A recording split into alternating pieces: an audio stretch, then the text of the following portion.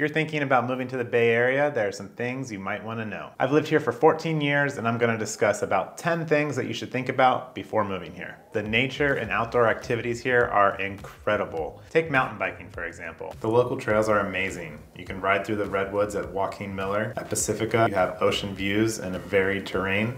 Downieville, about three and a half hours away in the Sierras, is some of the best mountain biking in the country. There's also Northstar, Lake Tahoe resort. It has a chairlift mountain bike park in the summer. One of my favorite things to do is to go skydiving and many places around the US, the drop zone shut down in the winter because it's too cold. Luckily here, we can skydive all year round. There's such a variety of outdoor activities here, there is truly something for everyone. We have ocean activities, surfing, kiteboarding, sailing, woods activities, hiking, backpacking. And Lake Tahoe and Yosemite are only three hours away. Maybe you want to just relax outside and not do a strenuous activity. Napa and Sonoma are in North Bay and have over 800 wineries to choose from. You can go whale watching in Monterey. Being outside year round is one of the best parts about living here. If you want to learn even more about nature in the Bay Area, go ahead and give me a call, shoot me an email. My information is in the description below. The weather here is very moderate and doesn't get below freezing anywhere. However, the heat varies quite a bit depending on where you are. We have microclimates here, and the temperature within San Francisco itself can vary by 7 to 10 degrees, which is pretty unusual because the city is only 7 miles wide.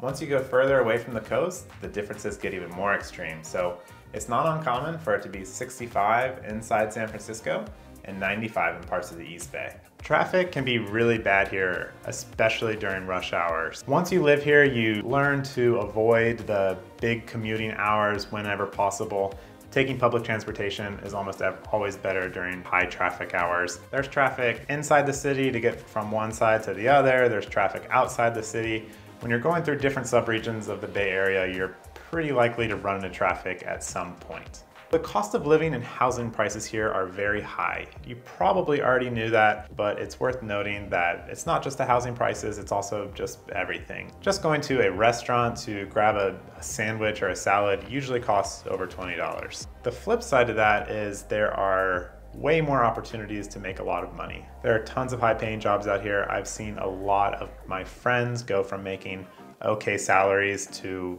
very high salaries higher than anywhere else that they could be making in the world working the same job. A lot of people that live here are not from here. I would say it's a city that's very welcoming to new people. If you're worried about moving here from somewhere else and not knowing anyone, just know a lot of people are in that situation too. The food here is ridiculously good. There's so many options of so many different types of cuisines. It's not only good in restaurants, but we have access to such a wide range of local ingredients grown here in California and we also have a very diverse population, so ingredients are imported from all over the world. Whether you're shopping at a grocery store or a farmer's market, you're likely to find all the ingredients you need for any recipe. So you've probably seen on the news that the Bay Area suffers from crime, drug, and that there's a homelessness problem. That is true, and the media sensationalizes it. There is a huge discrepancy between reading about the Bay Area in headlines and actually living here. Yes, those problems are real, but they're mostly concentrated in specific downtown areas and you don't run across them nearly as much in the neighborhoods. A lot of people that were living in the neighborhoods and commuting to downtown are actually just spending more time in their neighborhoods. So in my opinion, the neighborhoods have gotten even better than they were before COVID, but downtown definitely hasn't bounced back yet. For me, even when downtown was thriving, the neighborhoods were always more appealing especially in San Francisco where each neighborhood has its own vibe and feel. That's what gives the city its unique character, more so than the office buildings downtown. The school system. Trying to cover the entire school systems of the entire Bay Area is not gonna work in this video, but I will say in San Francisco, there's a lottery system that definitely irritates people. Just because you live in a specific neighborhood doesn't mean your child is gonna go to the school in that neighborhood. How it works is you put your top choices and then you're put into a lottery system. So your child could end up going to a school across town. Um, it's one of those things that the idea is good, trying to make the schools more equitable, but in practice it just ends up in a logistical nightmare. And there's even San Francisco public school coaches that kind of help you get your child into the school that they want using the tips and tricks of the lottery system. It's complicated.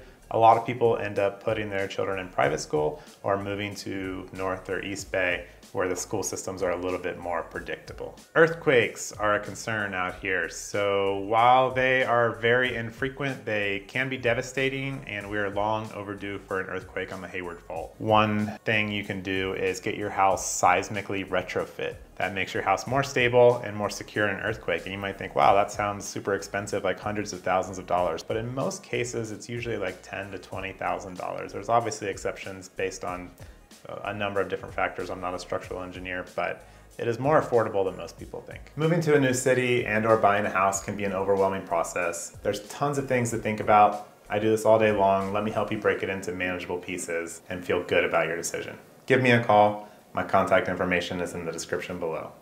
If you want to see a video of the entire Bay Area, watch this video here. And if you want to see the differences between living in San Francisco and Oakland, watch this video here. See you next time.